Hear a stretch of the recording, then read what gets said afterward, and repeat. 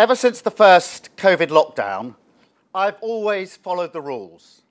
In that time, the British people have made heart wrenching sacrifices. People were left desperately lonely. They were separated from family and friends. Tragically, many were unable to see dying loved ones.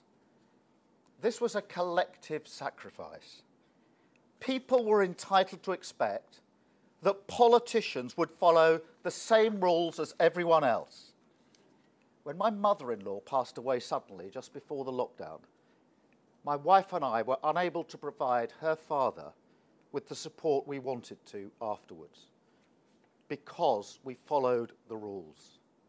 Barely a day has passed where we haven't agonized over that decision, but we did it because we followed the rules. We all found the rules frustrating at times, and I'm no exception to that.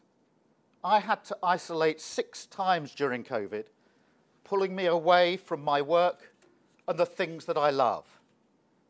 But I did it because we followed the rules. The idea that I would then casually break those rules is wrong. And frankly, I don't believe those accusing me believe it themselves. They are just trying to feed cynicism to get the public to believe all politicians are the same. I'm here to say that they're not. I believe in honour, integrity, and the principle that those who make the laws must follow them. And I believe that politicians who undermine that principle undermine trust in politics, undermine our democracy, and undermine Britain. I'm absolutely clear that no laws were broken. They were followed at all times. I simply had something to eat while working late in the evening, as any politician would do days before an election. But if the police decide to issue me with a fixed penalty notice, I would, of course, do the right thing and step down. This matters. It matters because the British public deserve politicians who think the rules apply to them. They deserve politicians who hold themselves to the highest standards. And they deserve politicians who put the country first rather than themselves. They will always, always get that from me. Thank you.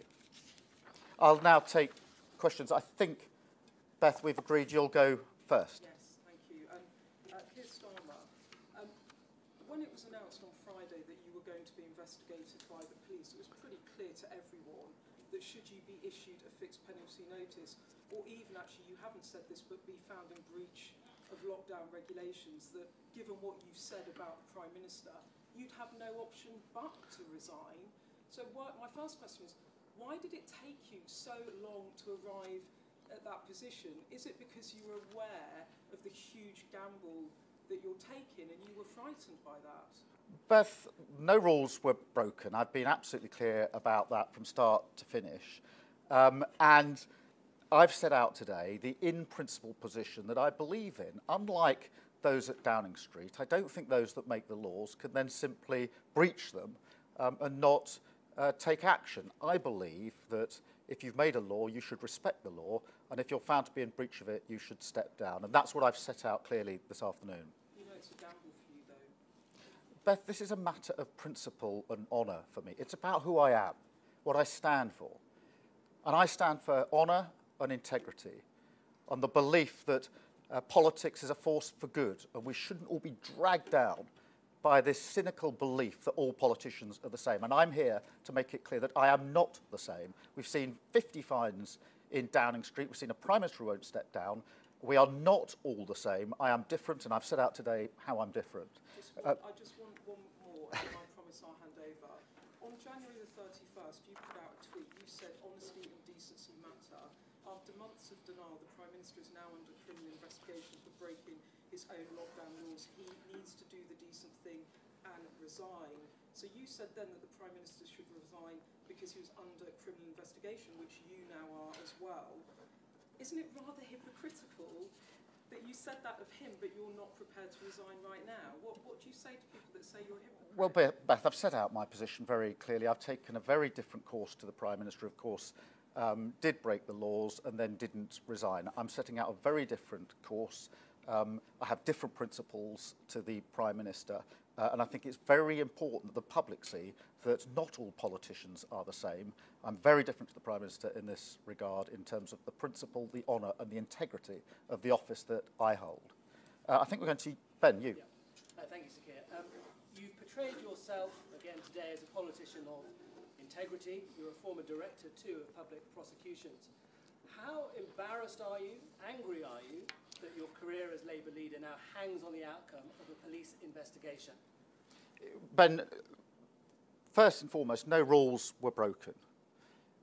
I don't actually believe that those that are accusing me believe rules were broken. They are trying to simply drag all politicians into a place where the public think we're all the same. For me, this is an in principle position. Um, no rules were broken. I'm absolutely clear about that. But in the event that I'm wrong about that and I get a fixed penalty notice, I will do the right thing and step down.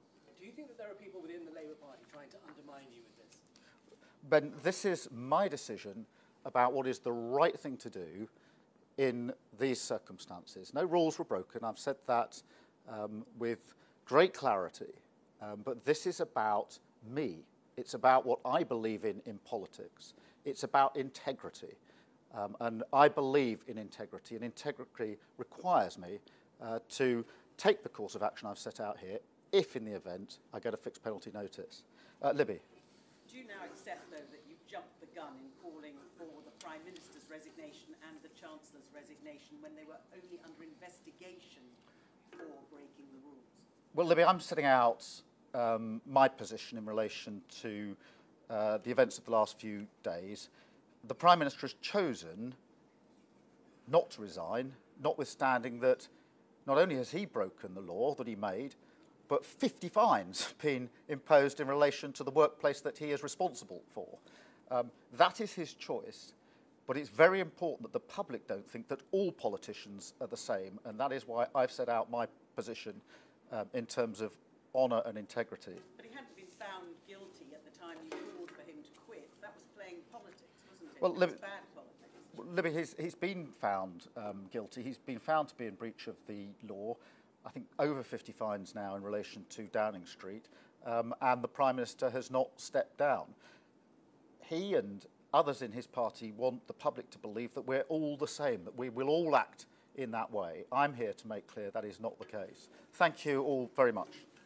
Starmer, a quick question. If you have a fixed penalty notice, if you get a fixed penalty notice, that you are found that there was a breach, and people are asking that, that's why I should ask you this, what happens then? Do you still resign, or does it have to be a fixed penalty notice? Well, well Beth, the, the, the, the penalty, first I haven't done anything that break, breaks the rules. Um, the penalty for a, for a COVID breach is a fixed penalty notice. That, that, that's a matter of law, um, and I've set out what the position is in relation to that. Thank you very much.